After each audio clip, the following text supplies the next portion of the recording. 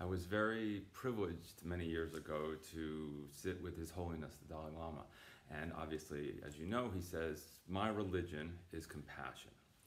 So for me, when I think about compassion,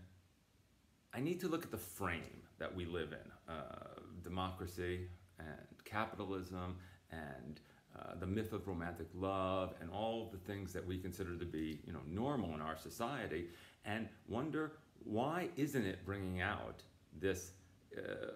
attribute which is normal for us? You know empathy that's how uh, we relate to other people that's how we attune to other people and yet you know if you do read the first page of the newspaper this morning you'll see a profound lack of compassion in the way human beings are interacting today. So uh, in my classes, what I try to do is raise consciousness about uh,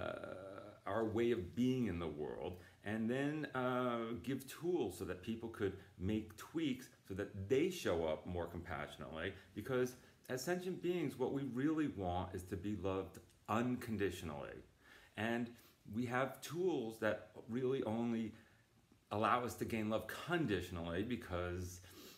we're rich and we speak well and we drive nice cars and vacation in fancy places, but all those things uh, just foment resentment because we're tricking people into liking our outer selves when what we really want is them to love our inner selves. So again, we need new tools so that we can show up authentically and attract the, the, the, the love that we really want, which is based on compassion.